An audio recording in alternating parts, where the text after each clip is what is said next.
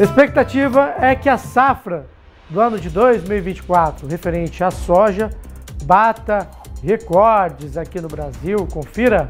A expectativa é que a safra 2024 de soja em Rondônia seja semelhante à do ano passado.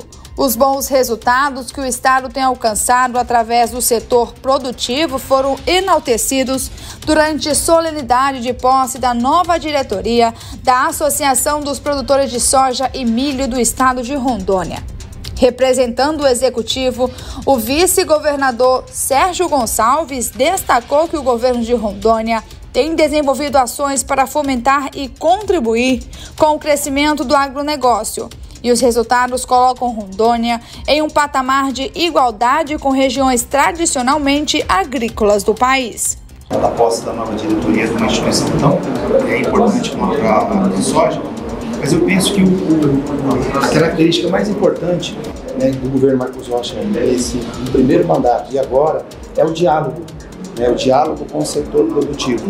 É, a gente tem né, o governador, é, os secretários, todos os entes de governo tem é, um relacionamento muito próximo com a ProSoja, né, que é uma entidade muito, muito importante, representativa no PIB do nosso estado, né, que está crescendo ano após ano, né, e a visão é de que haja cada vez mais desenvolvimento no nosso estado e passa por esse, por esse estreitamento de diálogo é, com instituições representativas do setor produtivo, como a ProSoja. O vice-governador ainda pontuou que Rondônia vive uma nova fase do agronegócio. A transparência das ações realizadas pelo governo do estado e a responsabilidade com recurso público são fatores que tornam o estado mais atraente para investimentos. Seguindo o processo de melhoria da infraestrutura de tráfego, o Departamento de Estradas de Rodagens tem desenvolvido ações que fortalecem o agro, substituindo pontes de madeira pelas de concreto, de modo que aumente a segurança e garantia de trafegabilidade para o escoamento da produção de soja.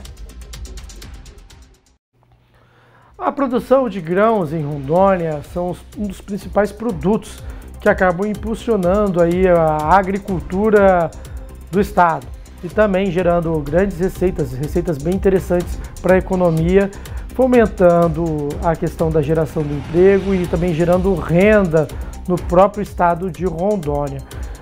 Vale lembrar que Rondônia faz parte do corredor da soja, porque tem essa região é, de fronteira ali, de, de, divisa né, com o estado do Mato Grosso, que também é um dos maiores produtores. Aliás, o Mato Grosso é o maior produtor de soja do Brasil.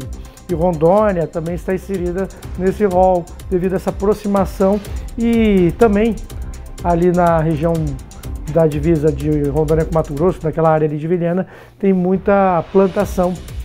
Então, acaba sendo beneficiado também por conta dessa proximidade geográfica com Mato Grosso. E nesse ano, os produtores rurais têm uma grande expectativa de conseguir bater recordes significativos referente à colheita da soja rondoniense.